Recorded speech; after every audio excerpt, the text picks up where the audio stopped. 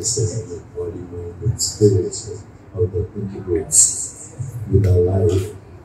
And to my surprise, even today, as I go to many conferences, nobody can define body, mind, or spirit. Even today, even in science conferences. So, one of the goals of course is to help people understand that these are real entities, that every experience that we have is not mental, whether it's spiritual experience, emotional, mental, physical, are out there in the environment.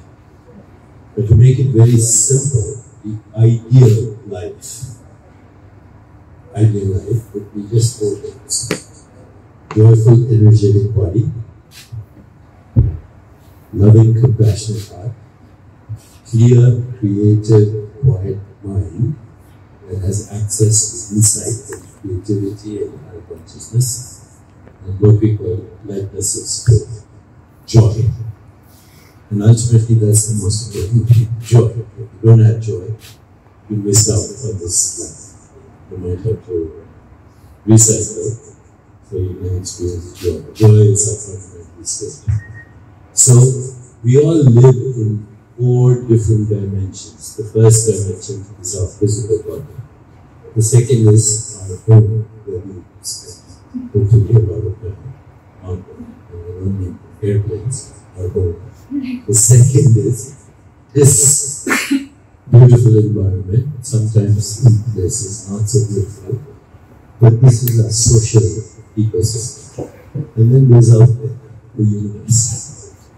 These are not four different entities. We've made them artificially different.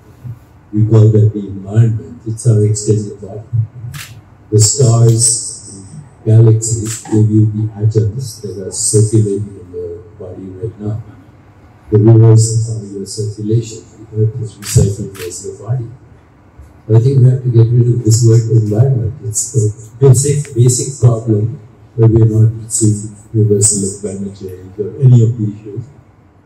We think of ourselves as separate from everything else when we are a product of everything else. So we're launching an initiative here called Chopraverse, where in very short you'll be able to experience a joyful, energetic body, loving, compassionate heart, creative mind, and lightness of spirit, and it will be measurable.